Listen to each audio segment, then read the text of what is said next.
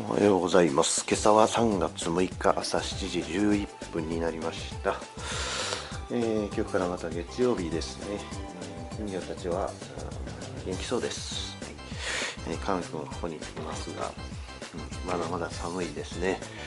外は霜が降っていて真っ白。はい。それでは行ってまいりたいと思います。はい、ただいま3月6日月曜日夜の6時17分ですね、えー、夕方夜というか、まあ、こんなに明るいんですけど、まあ、6時17分ということです。はい、えー、ということで亀くんもやっぱちょっとこう元気のある雰囲気を感じますね、えー、雰囲気ですけど多分泳いで回っていたんじゃないかなという気はしていますね。はい。ということで、まあ、月曜日、今日は、まあ、あの多少疲れましたけども、まあ、まだ元気が残っているぐらいです。えー、なので、まあ、今からあの昨日作っていた動画の続きを、えー、作っていこうかなと思っております、え、今はですね防災関係の動画を作っておりましてで災害に対する備えというところをですね、えまあ、そういったことを今考えておりますのはですね、ま、今3月6日えー、あと5日したら3月11日になりますよと。で3月11日といえば、まあ、東日本大震災のあった年と年じゃない日にちということです。まあいろんな思いがあってですね3月11日に対しての動画というのがこれまで、えー、何年かあの続けてですね作ってきたところではあるんですが、まあ、ある意味集大成的な、あのー、まあ、動画を、まあ、作りたいなと思っていてですね。まあ、集大成といっても、まあ、これからもそれは続くと思うんですがやっぱりこう自分の中でこの特別な日に動画を残すっていうそういうことがですねあのある意味こう義務化されてきたようなとこがあって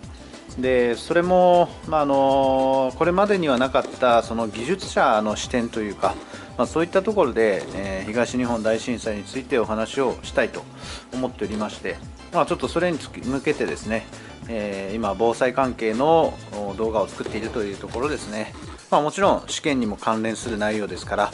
えー、まあ、かなりですね、えー、まあ、重要なことをしているなという思いはありますね。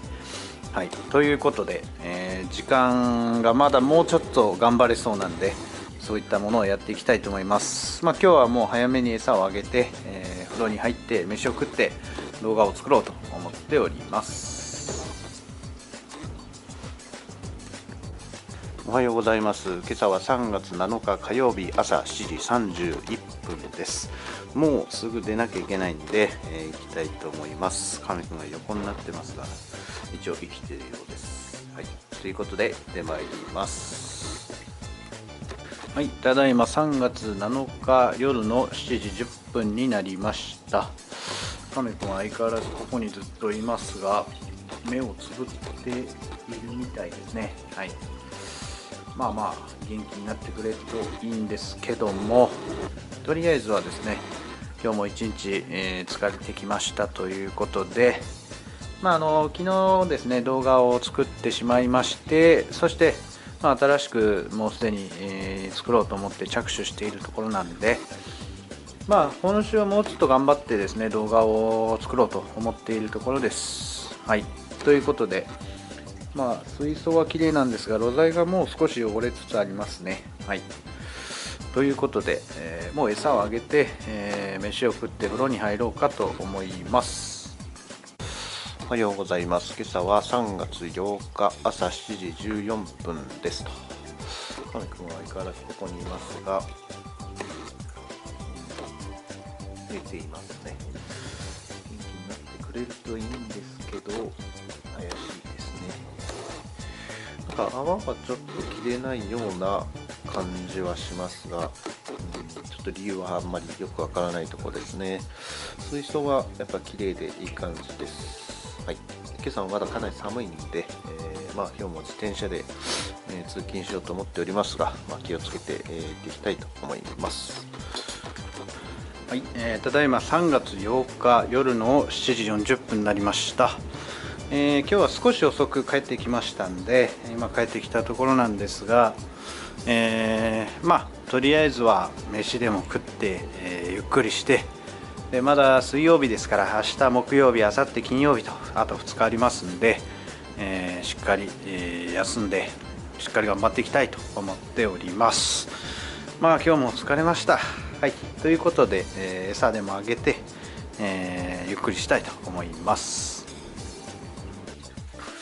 はい、えー、ただいま3月4日夜の9時54分です。亀くんがここにまだいます。えー、っと今見るとですね何やらゴミがあるんですけどゴミをどうやら拾って帰ってるみたいですね。うちの親が。まあいいや、まあ、ちょっと小話をしに来ました、えー、昨日ですね昨日あのあんまり食べてなかったんですけどあの結構固めのイカを購入してきてですねスルメイカを買ってきてで食べてたらですね実は奥歯が欠けてしまってですねあの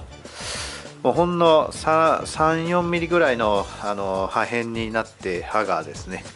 ガリッとなってかなり嫌なこう感じを、まあ、感触だったんですけど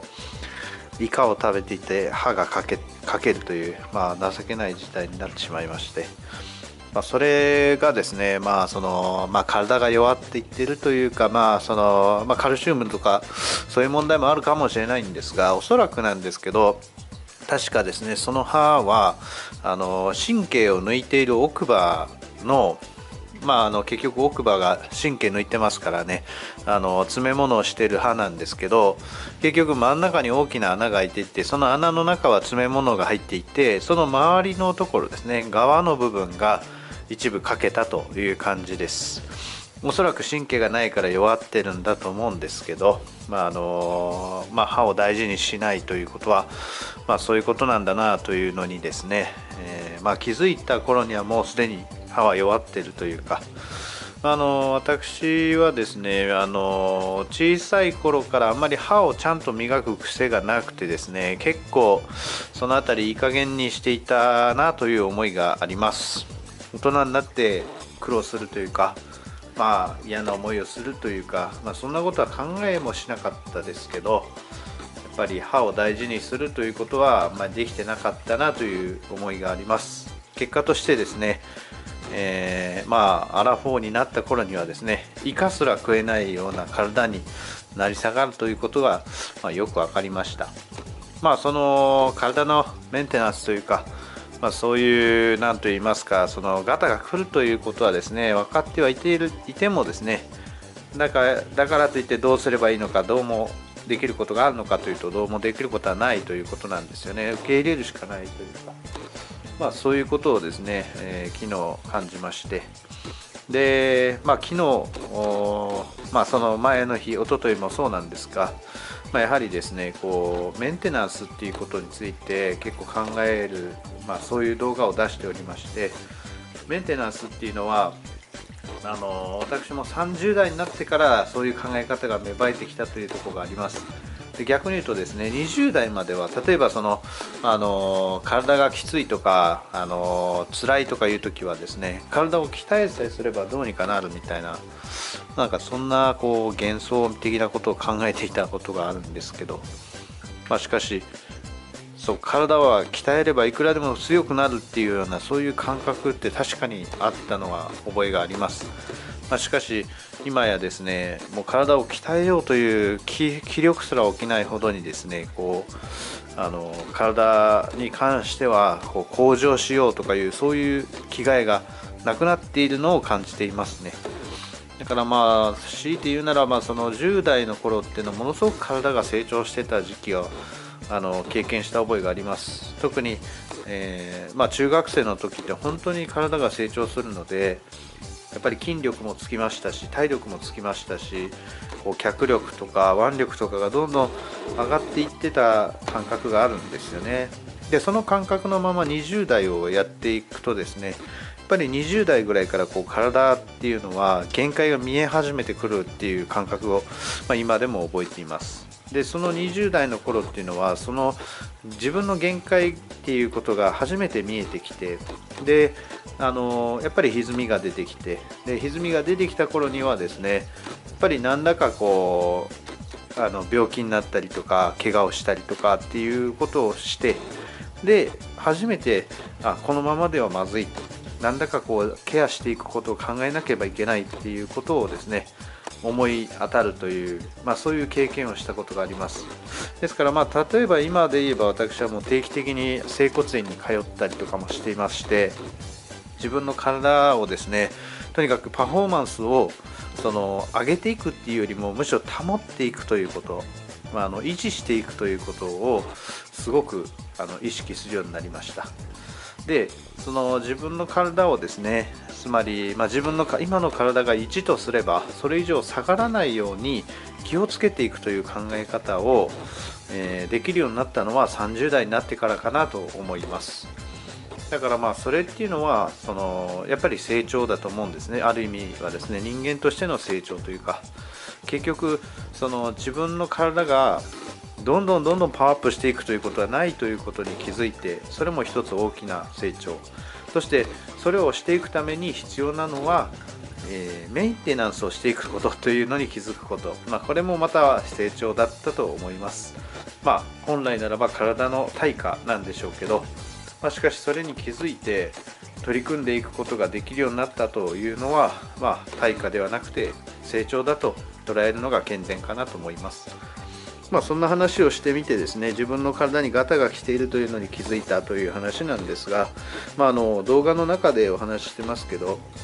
やっぱりこうインフラとかそういう社会に携わるそういうハードですね、まあ、いわゆるその道路であったり、まあ、あの橋とか建物であったり、まあ、そういったものがですね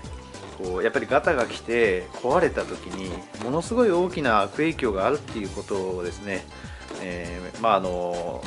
やはりいろんなケースから理解することができるかなと思っていてですねあの取り上げた笹子トンネルの話もそうなんですけど、まあ、今ちょっと考えてる途中なんですがやはり東日本大震災ですね、まあ、あのああいった巨大な外力によって巨大な破壊がもたらされるということをあの、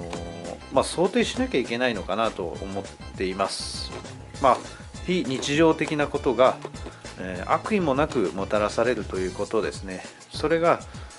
まあ、あるいはその悪意を持ってそういった被害を及ぼそうとする者もいるわけで、まあ、そういったものに対して何の備えもなければですね